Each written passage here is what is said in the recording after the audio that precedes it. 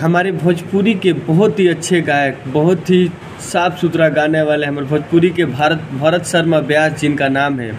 उनको राष्ट्रपति द्वारा संगीत नाटक एकेडमी 2023 अवार्ड मिला और राष्ट्रपति द्रौपदी मुर्मू जी ने उनको ये अवार्ड से सम्मानित किया।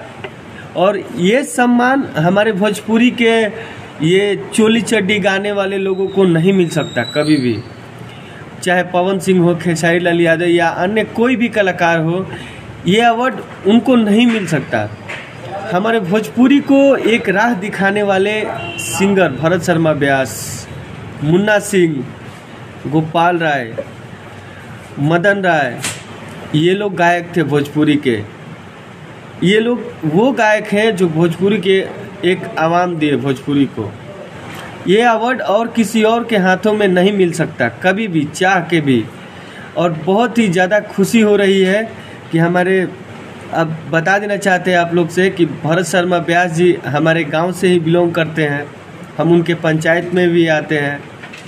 तो इसलिए ये अवार्ड उनको मिला।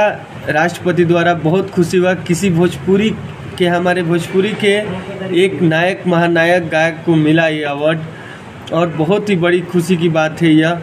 और आप लोग भरत शर्मा को भरत शर्मा जी को तो आप लोगों ने हमेशा सुना